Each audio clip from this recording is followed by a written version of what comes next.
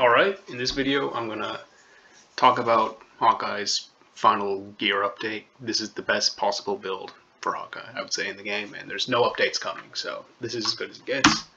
Melee piece, uh, just get this piece for Hawkeye. Uh, it's an offline vendor piece. Uh, here's the date for it. The Faultless Empowerment's actually useful if you want to overcharge and your ult's not up. Split Shot Gamma is pretty good. Plasma or Pym would also be good, but Gamma's fine. Perfect stats in gold and a 2.1. This is a perfect piece. Easy to get, just offline vendor it. Super easy. Alright, the ideal range piece is a targeted spark, Tachyon Surge, Precision Valor. It's not easy to get. If you want to get it, save scum the Tachyon Anomaly event. And you really want Precision Valor. You don't really care if it's Precision Valor Might, Precision Valor Intensity, or just a dual stat Precision Valor. You don't really care about the status. Pulsar's the best, but don't worry about that. I would farm it for Precision Valor and Targeted Spark. That's all that matters. This piece is hard to get, and you could just use a Targeted Spark piece without, that's not a Tachyon Surge piece. That's easy to get. The problem, or the issue is, this is by far the best piece for Hawkeye. There's nothing that is competitive with Tachyon Surge at the bottom slot. A lethal targeted buff is good, for an RNG piece, and if I find one with targeted spark, lethal targeted buff, I'll drop the offline vendor date in the comments, but if you want the best Hawkeye build, you have to get this piece. There's no, there's nothing that competes with it. Ideal chest piece. This piece is actually pretty easy to get. You just need to run cloning labs, and this is one of the perks that can drop.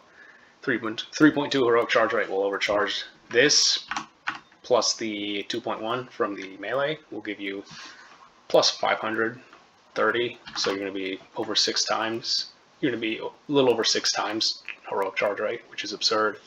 One one targeted spark instantly overcharges all your heroics, and your ult can target the spark itself, so that's awesome. You don't really care about the other perks, and the triple stat is resolve intensity and resilience. So you want a triple stat one with a 3.2. Pretty easy to get. Definitely best chess piece by far the four piece, this piece is pretty hard to get. Um, you know, with the Hawk's Bow, this is just the gold piece from the vault, and you want Berserker buff. And here's the stat pool, Valor, Precision, Resolve, Might. Valor's the best stat, then Precision, then Resolve, and then you don't want Might. Um, it's more important to get this piece with Berserker buff than it is to get this piece with good stats, and you don't need this piece with Berserker buff, and same way you don't need the Tachyon Surge piece, but if you want the best Hawkeye build, you need the Berserker buff. It's absurd. 65% damage and 10% crit chance. I mean, that's just, that's a lot of damage. Not to mention that this is a great piece as it is, right? You can get it with perfect stats, 25% crit chance while overcharged is insane, and instant overcharge for your ult is really, really strong. For relics, you just want stat relics. Um, if you're getting triple stat, the purple ones, you can get one with Powerful Boon is definitely the best perk, and you can also get an Assistance perk. And I have an offline vendor date for this piece, so it's about as good as you can. This is about as good as you can get easily. And as you notice, 78, 78, 78, which is what 234 Valor. Yeah, this perk doesn't matter a ton, but you know you might as well get this. It's easy to get. All right, the ideal relic though would be Shard of the Cosmos, which you can get from the cloning labs. And the reason that you care about this piece is more stats. 108 versus 78.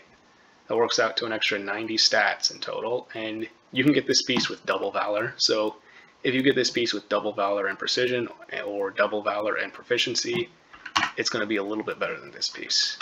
I honestly just use this piece because I don't have anything crazy like this yet. But if you get one of these, keep it, use it, you know, it's good.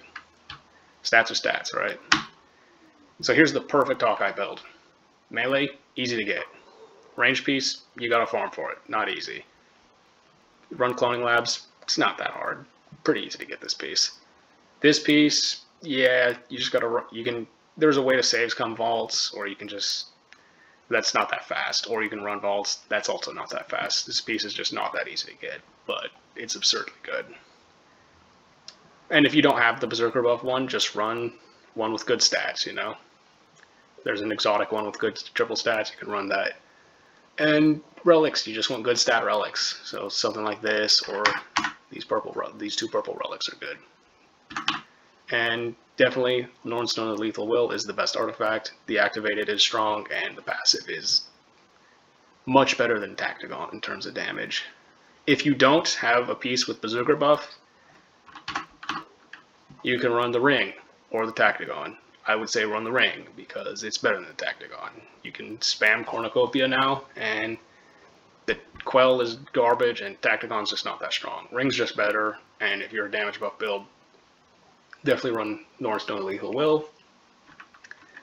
10% crit chance is really, really strong, and your damage buff lasts an extra 4 seconds. Champion points, saves and everyone else. The crit ones are the most important, and the heroic charge rate, and the perk ones, and the defense, and the status build-up are decent, and these are absolute garbage. Here's the mastery points, if you want to just screenshot and copy them. Stat priority, you don't have to worry too much about the stat priority because all this gear is pretty much locked in stone and what stats it has. But Valor's your best stat. Precision and proficiency are your secondary offensive stats. You want a piece or two of resolve, but your chest piece will have resolve, so you're good. One piece of intensity is good, but your chest piece has it, so don't worry about intensity. You don't want might, it's garbage, and resilience is also kind of garbage. But you won't get any resilience. Actually, no, you get one from the chest piece, but you know, it is what it is. You got to run it for the 3.2. Overall, Hawkeye, yeah, one of the best heroes of the game. Easiest hero in the game, I would say. If you like the the hives, ugh, so it's easier than Thor. I mean, Hawkeye's so easy. He's not the best hero in the game against the Elite Raid. That's been Iron Man. He hits one of the hardest. He's his hunter arrow hunts down enemies for you. I mean, Hawkeye's amazing. And how's he changed from the cheese build that I uploaded a while ago? Uh, the healing buff only lasts 10 seconds now instead of 30. Less split shot arrows. And you don't you only get two instead of three charges. Eh, minor downsides. You have to spam the healing puddle more, but you get your heroics back so fast. You can have it up essentially 24-7. On the plus side, that four piece gets the 25% crit chance, which is really strong, and Berserker buff, which is 65% damage and 10% crit chance, which, yeah, Hawkeye hits a lot harder than he used to, even that insane cheese build. So uh, Hawkeye's better than ever. Absolutely one of the best classes in the game. And yeah, I recorded uh, me going through the harm room if you want to watch that. But I mean, Hawkeye's easy mode, you know. Here's the loadout. Go try to get it if you want.